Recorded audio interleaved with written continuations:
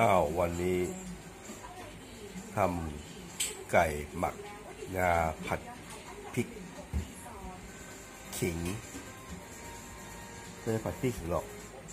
ผัดขิงแล้วก็เห็ดหูหนูหัวหอมใหญ่ เพราะว่าเหลือจากการหมักไก่ไว้กินก๋วยเตี๋ยวคั่วไก่ไว้เมื่อวานก่อน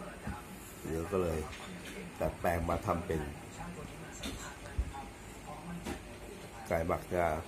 ผัดขิงสดกับอ่าอะไรวะเห็ดหูหนูอร่อยรับรองถูกรสชาติ หัวหอมใหญ่ เหมือนเดิม รสชาติกลมกล่อม เรียนรู้ภาษาอังกฤษไปในตัว กับการแนะน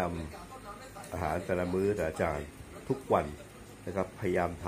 ำให้ท่านได้ดู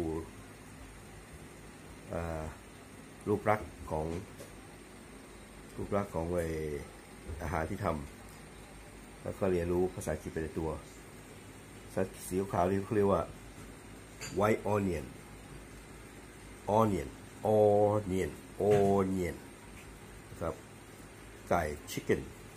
chicken meat ที่เส้นๆเหลืองๆนี้ก็เรียกว่า ขิง ภาษาไทยขิง ginger ginger ginger ginger ginger ginger เห็ดหูหนูดำๆเนี่ยไม่ใช่หูหนูนะ fungo fungo fungo fungo เกือบทุกมื้อจะมีเขียวๆเนี่ย ต้นหอม green onion green onion รับรองอร่อย น่ารับประทานกินกับข้าวสวยร้อนๆนะ จัดไปเลย ปังมากมากๆปังปูริเย่กดไลค์กดแชร์กดกระดิ่งกิ๊งกิ๊งกิ๊งกิ๊งเพื่อเป็นกำลังใจให้หน่อยนะ thank you bye bye คาร์ล